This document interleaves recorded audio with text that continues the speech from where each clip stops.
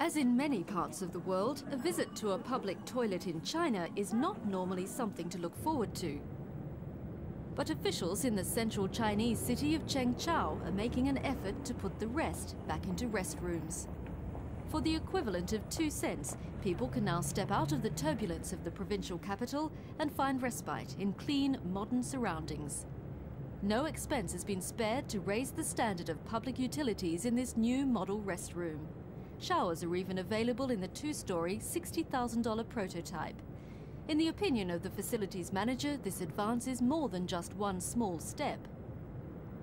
This is a toilet for 21st century people. It doesn't smell and everything is automatic. A toilet like this will improve people's lives. While most public toilets in China lack paper or running water, this luxury facility offers patrons a climate-controlled salon. Convenience is the key word here, with a stereo, comfortable chairs and sofas, and even a colour television available to stretch a short break into a relaxing interlude.